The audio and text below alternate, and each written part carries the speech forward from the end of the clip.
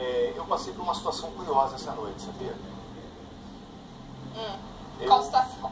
Eu, eu sonhei a noite toda com você. Eu sonhei que você era um cofre. Um cofre? Um cofre. Passei a noite toda tentando descobrir os seus segredos. E ainda bem que seu namorado está viajando, né? Está na Europa. Já voltou, não? Já sabe até disso, Já meu Deus? sei, eu, já, eu sou investigador, jornalista, eu falo jornalístico. É o detetive É, caracol ele em tá viajando, mas ele volta, viu, Tino? Ele Volta. volta semana que vem. Mas ele volta, já volta com outro, fica tranquila. Relacionamentos são assim, começam, Não, não. aí tem aquela fase boa e depois terminam. Né? Até já Mas você tá rogando praga pro meu relacionamento. nenhum. Tô desejando coisas boas na sua vida, Fernandinha.